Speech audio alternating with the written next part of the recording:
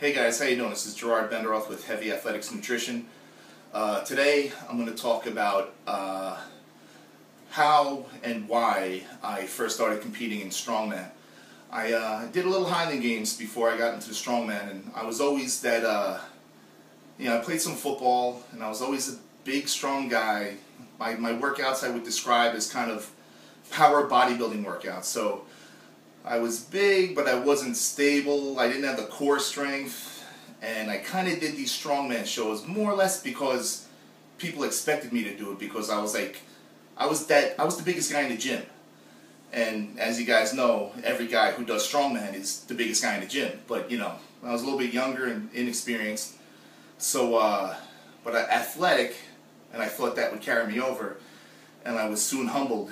It didn't carry over so that's uh, so that was my the biggest issue was and and I actually stopped doing strongman for a while and uh, went back to the Highland games and was just doing that full time and uh, I was doing a little also my boxing career was kind of coming my amateur boxing career was kind of coming to an end. So uh, so then um, then I met uh, Ben Lambosis from uh, Orange County you know about 45 minutes up. We met at a show we exchanged information since I lived uh, near him at the time. And, uh, you know, we would train every once in a while, but I, I kind of had my head up my ass about it, really. I just wasn't, you know, I just thought being the biggest guy, biggest, you know, I could bench press 600 pounds, you know, I just thought, like, that was, that was good enough, you know, I, I you know, and I, I would go to shows and I couldn't do, like, a 225 pound log press, you know, it was like, I was so unstable, it was, it was ridiculous.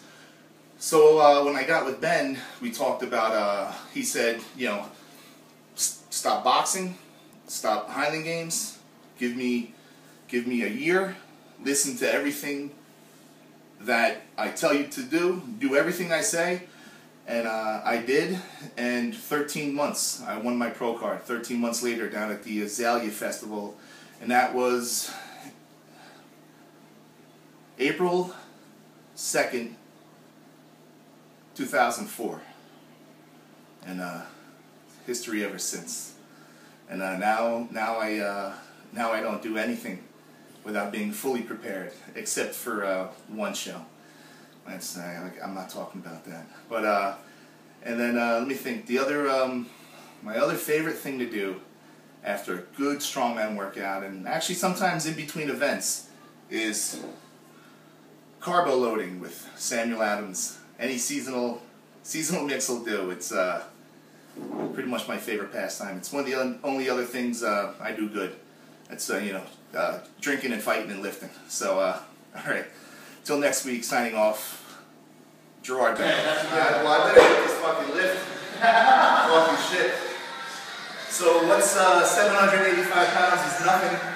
That's nothing. It's just just a bunch of weight sitting there. But when someone comes and hits it, then it becomes something. So I better take my shit talking and get this lifted. Come on. No straps, no suit.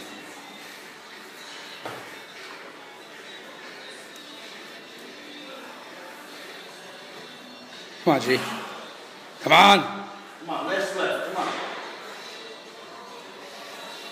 Pull out.